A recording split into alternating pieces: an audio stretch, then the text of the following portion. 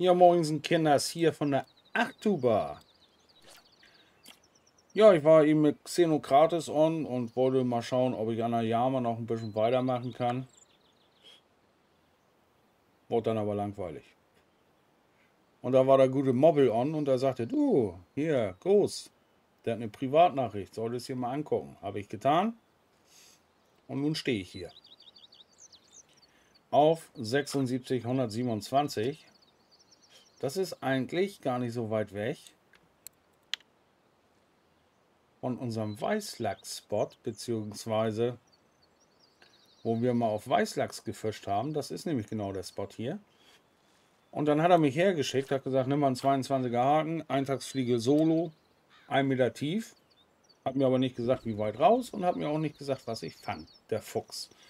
Hat sich wohl gedacht, komm, überraschen wir den alten Ghost Rider mal. Vielleicht freut er sich ja. Und was soll ich sagen? Ich denke mal, er wollte mir einen Spot für einen Siechling ans Herz legen. Denn der läuft hier die ganze Zeit ein auf 1 Meter Tiefe. Mit der Eintagsfliege und einem 22er Haken. Ich persönlich würde ja mit einem 19er Haken fischen. Habe ich zwischenzeitlich auch getan. Bin jetzt seit 10 Minuten hier. Das erste Tier war eine Hasel, die eingestiegen ist. Und dann halt Siechling, das ist wieder eine Hase. Die braucht man hier übrigens auch als Trophy. Das heißt, es ist gar nicht so schlimm, wenn beide Farben hier einsteigen. Hasel und Siechling. Auf den gleichen Köder. Am gleichen Spot. Hat man vielleicht die Möglichkeit, einen dieser beiden Tiere hier eine Schnur zu bekommen. Ich bin relativ spät angekommen, was das Ganze jetzt ein wenig ja, verkürzt, sagen wir es so, von dem heutigen Tag der Angelei. Werde mich aber gleich früh morgens hier wieder herbegeben und weiter auf den Siechling stippen und mal gucken, was so geht. Na, da seid ihr recht herzlich eingeladen. Können wir gemeinsam gucken, ob wir einen von diesen beiden Kaspern hier abfischen können. Die Hasel ist echt klein, ne? Vielleicht doch ein 19er Haken? Werde ich nicht. Wir meinen gut. An der Belaya ist sie auf einen 24er Haken gezogen. Das ist immer schwer. Das ist immer dieses, man weiß es nicht, ne? Je größer der Haken, desto kleiner der Fisch. Desto kleiner der Haken, desto größer der Fisch. Also manchmal habe ich das Gefühl, da ist der erste Caspi. Auf den habe ich tatsächlich gehofft. Weil gegen 18 Uhr oder gegen Abend meistens Caspi Mais, Maisfisch und äh, die Schwarzmeergurkenlaube, nein, der Caspi Maifisch und die Seelaube und der Brachnikow-Hering gerne mal einsteigen. Und hier eine Sardine, die kann weg, obwohl wir die ab und zu auch im Café finden. Ja, schauen wir mal. Also ich werde jetzt hier schön äh, durchtreiben lassen, noch den Abend, um zu gucken, ob der Kaspi noch weiter einläuft, ob man eine Seelaube vorbeigeschiedert kommt, der Brachnikow oder aber auch der Schwarzrückenhering. Auch den braucht man hier. Die Eintagsfliege triggert ja an diesem Gewässer so einiges. Ja, unter anderem auch den, den keiner haben will, der mit D anfängt und mit Öbel aufhört. Will hier keiner.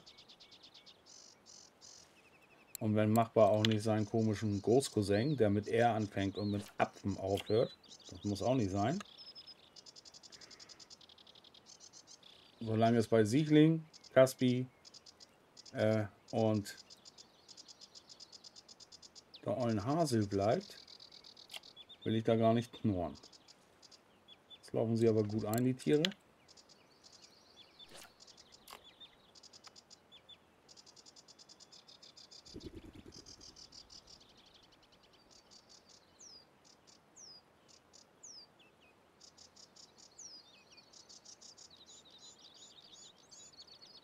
Ist kein Siechling. Das ist wieder ein Kaspi. Oh, die laufen aber gut. Schon der zweite. Ich bin verwehrt. Was wollt ihr mir jetzt zeigen? Wollt ihr mir einen Siedlingsspot zeigen? Wollt ihr mir einen Caspi-Spot zeigen? Wollt ihr mir einen, einen Multicolor-Spot zeigen? Also Siedling, Hasel, Caspi. Wir werden es herausfinden, Kinders. Ich weiß nur, auf der Eintagsfliege geht so einiges an der Schnur hier. Und auch den Caspi braucht man hier zum Einkleben in seinen Fotoalben. Also, deshalb wahrscheinlich auch der 22er Haken. Aber halt ein Meter tief, was wiederum Sieglingtiefe ist. Und die Haseltiefe liegt ja eigentlich so zwischen 40 und 60. Und der Siegling so 80 bis 1 Meter, 1 Meter 10 im Höchstfall noch. Dann sollte man langsam mal überlegen, auf was man fischen will. Ich bin gespannt. Ich muss sowieso gleich zum Kaffee. Ich habe Hunger.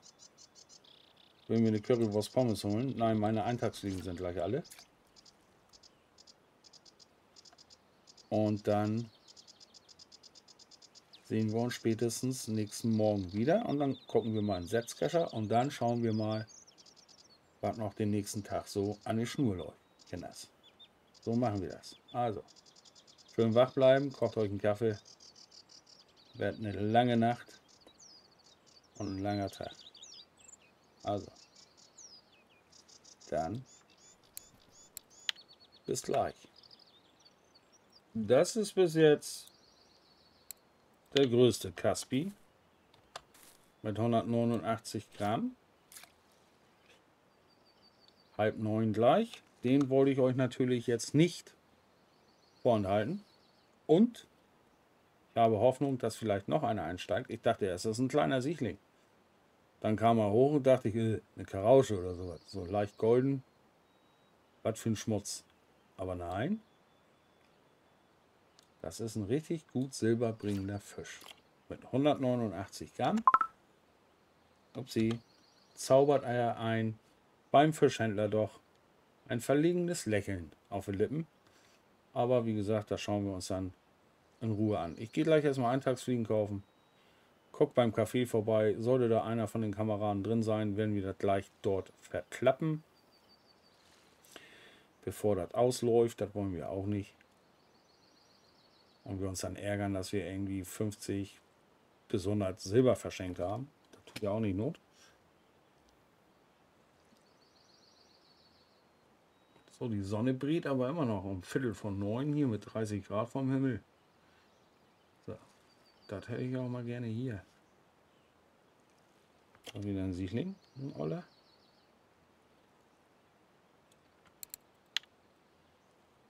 Na gut. Da ist die erste Seelaube.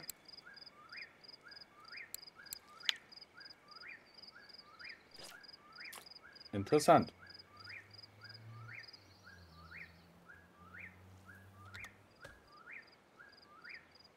Fehlt ja nur noch der Brachnikow-Hering, von dem ich sprach. Und der Schwarzrückenhering. Dann haben wir sie aber wirklich alle abgefischt hier, die ich angesprochen habe. Das wäre ja zu ulkig.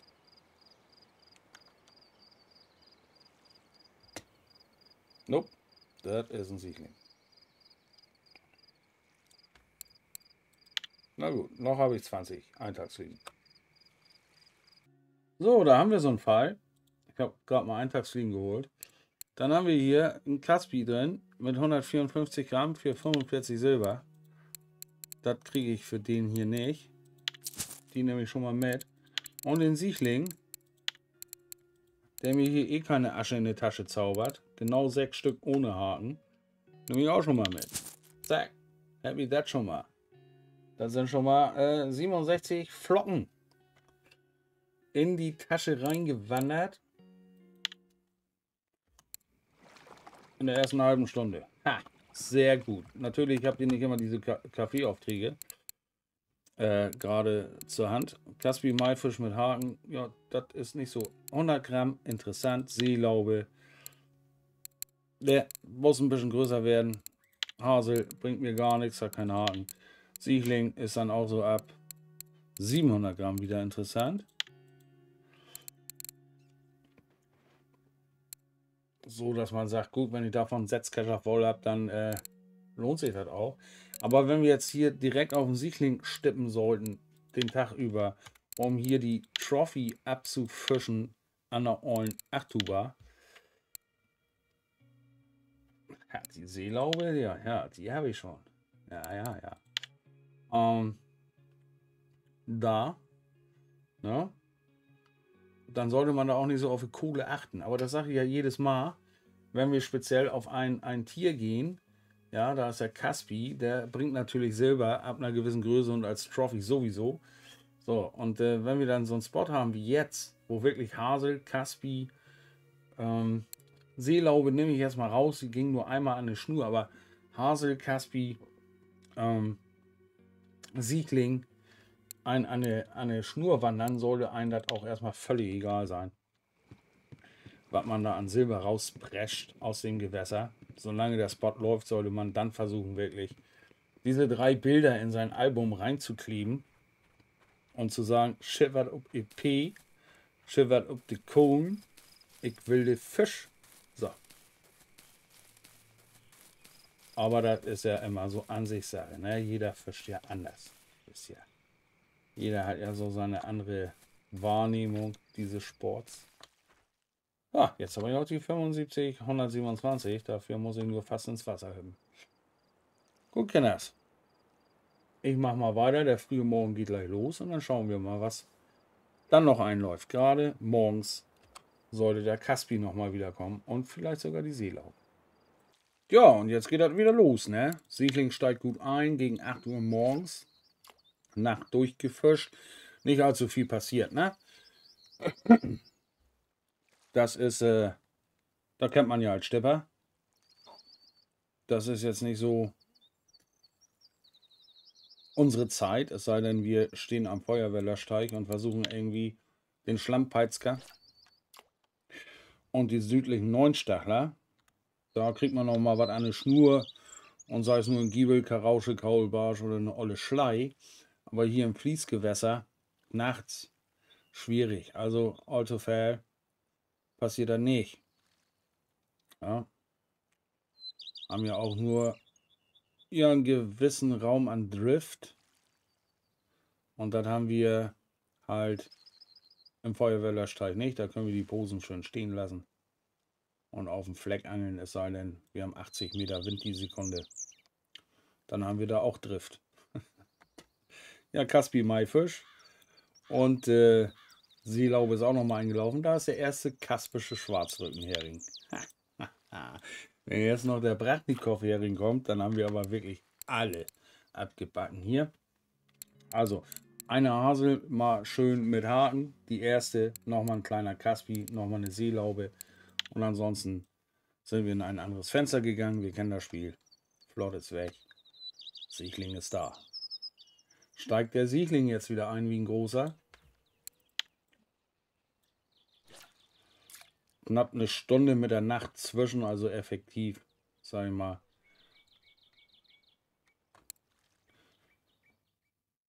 Oh, 40 Minuten gefischt.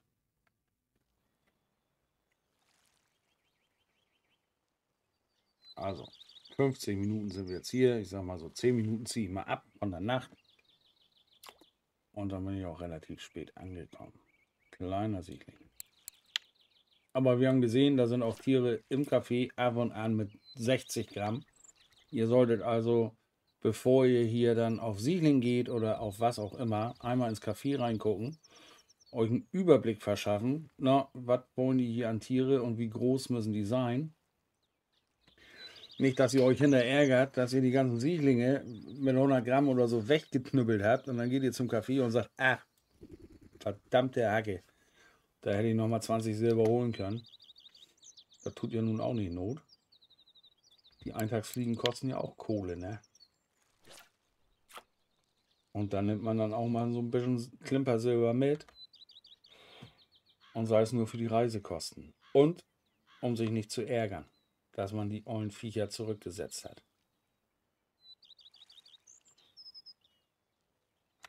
So, kann ich, darf, darf ich anderes, darf ich? Anderes Fenster, darf ich? Ja? Ja. Hab ich mir doch gedacht. Anscheißen wolltet ihr mich. Nächster Kaspi. Ein Kaspi haben wir schon verhökert. Macht 5. Und äh, Siechling ist natürlich hier Main.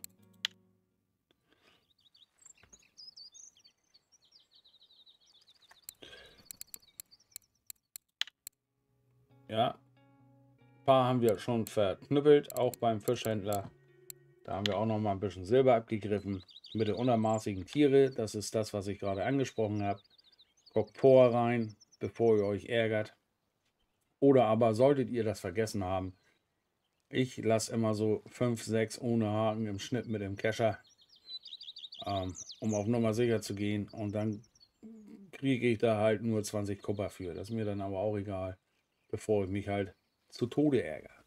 Gut, ich fische hier mal noch ein bisschen weiter und guck mal, was noch so passiert. Das ist eine Hasel, Seelaube, Hasel.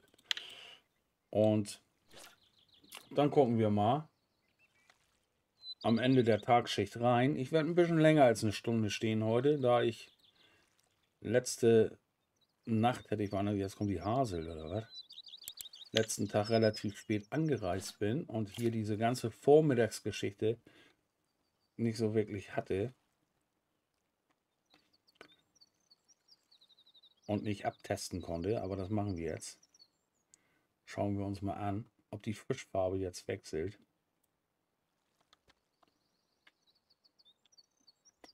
Wieder ein Siegling. Bevor ich der flott rausschmeiß. 13 Uhr bin ich angekommen. Da ging das los. Und wie gesagt, diese ganze Vormittagsgeschichte habe ich gar nicht gehabt. Also den frühen Morgen nach der Nacht bis zum Mittag. Das holen wir jetzt nach. Und dann haben wir eine Stunde rum. Und dann werde ich noch mal ein bisschen weiter fischen. Und mal gucken, ob der Spot denn nach einer Stunde immer noch gut frequentiert läuft oder eher nicht so. Das ist mein Plan, Kinders. Schauen wir mal. So, eine Stunde, eine Minute. Jo.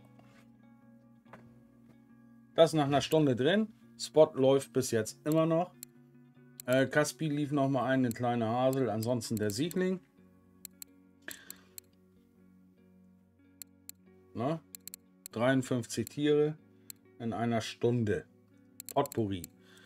Zwei kleine Döbel, paar Haseln, zwei mit Haken. Könnte man dann mit einer entweder größeren Haken, also 19er, oder halt noch feiner auf dem 24er wie an der Belaya, müsste man dann hier rum experimentieren. Aber solange der so als Beiläufer drauf geht, ist mir das egal. Bleibe ich beim 22er Haken weil das ist dann auch der Beifang. Sechs insgesamt, einen haben wir schon verkauft. Der ist uninteressant. Die sind noch mal zweimal drauf gelaufen, die bringen aber auch nicht Alter Fell. Und halt der Siechling. Ja. Also, Siechling läuft hier 75, 127, 1 Meter tief, 22er Haken, Eintagsfliegenlarve.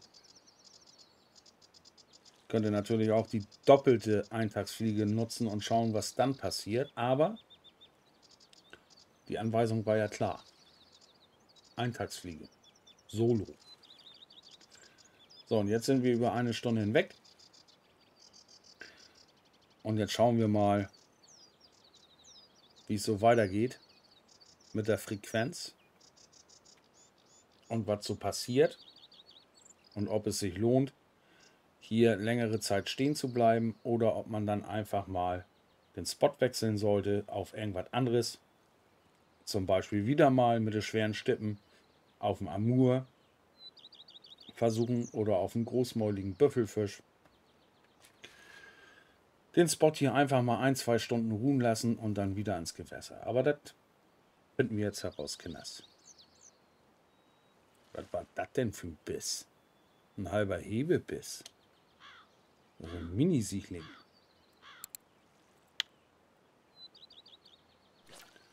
Na gut. So, man merkt aber schon, dass die Frequenz ein bisschen nach unten gegangen ist. Es ist jetzt nicht mehr ganz so wild wie am ersten Tag. Gegen Abend kommt dann auch der Caspi mal wieder vorbeigeschiedert. Da, da. Also Beifang Caspi. Eigentlich ist so hier der Hauptfisch der Siegling, dann kommt die Hasel, zwar nicht immer mit Haken, aber die ist so am zweitmeisten vertreten und dann kommt der Caspi Maifisch ab und an mal an eine Schnur vorbeigeschossen und bringt sich auch noch mal in Erinnerung und sagt, ich, mich es auch noch. Ich bin auch noch da.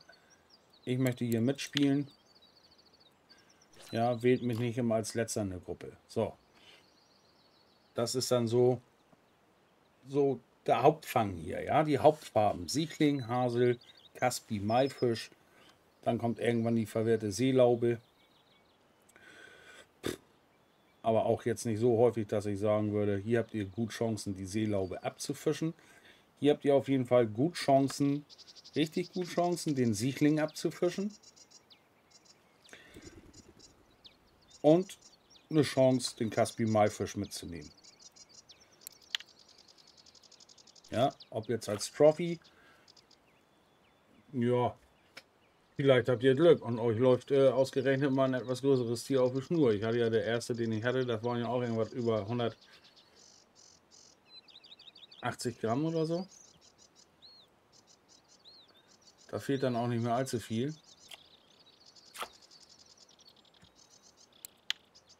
Ja, ihr seht ja schon, jetzt gegen Abend. Kommt er wieder.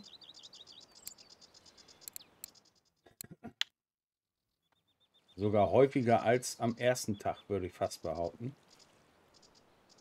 Kann aber auch täuschen. Oder ich habe eine Wahrnehmungsstörung. Keine Ahnung. Eine Stunde 17 Minuten. Komm, die 70 machen wir noch voll, egal, weil er jetzt die Schnur rennt. Und dann gehen wir zum Café. Da wird sich jetzt nicht viel geändert haben, denke ich mal. Sei denn, da sind neue Aufträge reingekommen. Und dann werden wir den Fisch mal loseisen. Und gucken, was das Ganze gebracht hat. Aber nochmal so ein Spot. Ja, Siegling kann man Silber mitfischen. Wenn er über 700 Gramm geht, dann bringt er ein Beden Watt. Und wenn man damit einen Setzkescher voll hat, dann kann man sich freuen. Dann kann man auch sagen, ich habe ein bisschen Silber gestippt. IP-mäßig mit der UL geht das auch klar. Liegt immer so beim Tausender dann. Ja. Wenn ihr dann 100 Siechlinge fangt von 700 Gramm. Bringt euch jetzt im EP-Bereich da unten links nicht so wirklich weit, aber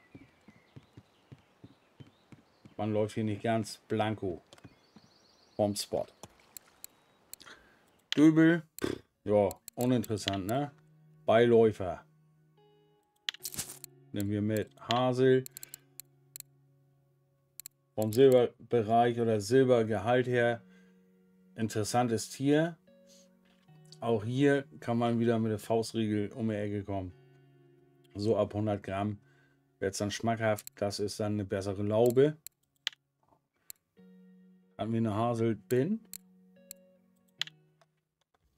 Wollen doch vorher da reingucken, ne? Da hier ist der Siedling, den haben wir aber nicht einmal mit 800 noch was Gramm. Da solltet ihr dann vielleicht mit der, mit der harten Größe ein bisschen spielen.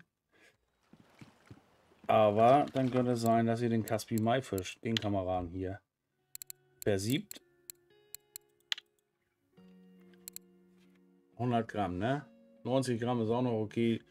Ja, ich sag, gut. Ich sag mal hier, ein Zehner. Ein Zehner pro Tier ist schon ist schon okay. 75 Gramm hat das Tier hier. Und äh, dann hat man hier alleine schon irgendwas bei 46, dann die nochmal 16, 52. Also das lohnt sich dann schon, wenn man den als Beifang auf die Schnur bekommt. Ja, die Seelaube lohnt sich da nicht so wirklich. Ne? Außer sie hat hier 172 Gramm. Und der Sichtling, wie gesagt, ab 700 Gramm kann man dann so mit sechs Paar gehackten rechnen. Und wenn man damit einen Setzkescher voll hat und man hat schnell einen Setzkescher mit den ollen Sieglingen voll, dann bringt das auch noch mal ein Beten was, ne? Alle Fische insgesamt 196 in einer Stunde 17 Minuten. Mit den Kaffeeaufträgen irgendwas bei 250 Tacken oder so. Das ist okay. Für eine Stippe ist das schon ganz in Ordnung. Und nochmal, das ist ein Spot, wo man versucht, das Tier abzubacken. Den Siegling, Kaspi Maifisch, vielleicht die Seelaube, wer, wer, wer weiß, was da morgen reinläuft, das weiß ich nicht. Ne, aber zurzeit ist es halt der Siegling, der da gut an die Schnur geht. Als Beifang halt der Kaspi Maifisch, der gut Silber bringt und auch IP tatsächlich, wenn man mit der UL unterwegs ist. Kann man dann noch ein bisschen EP abschnappen, ein bisschen Silber abschnappen und vielleicht sogar eine Trophy. Das wäre natürlich Weltklasse. Dann hättet ihr das Tier hier weg. Und wie gesagt, das sind die zwei Hauptfarben. Einmal der Siegling, dann kommt die Hasel, und dann kommt der Kaspi Maifisch. Und das ist die große Suppenkelle. Kinders, ich verbleibe wie immer mit einem freundlichen Petri. Ne? Danke, Moppel, für diesen Spot. Grüße gehen raus. Wusste nicht genau, was du von mir wolltest, aber ich gehe mal davon aus, dass du den Siegling meinst. Mit der Überraschung des Kaspis. Wie gesagt, danke dafür und dann äh, gerne mehr davon. Aber du kannst das nächste Mal gerne schreiben, was mich da erwartet. Das ist überhaupt gar kein Problem. Das hebt mich jetzt nicht aus dem Sessel. Ja, Freunde, bleibt stabil, haltet euch, geht an den Spot, versucht es. Dann kann ihr mir berichten. Gut, dann macht es gut und bis zum nächsten Mal. 是拜拜。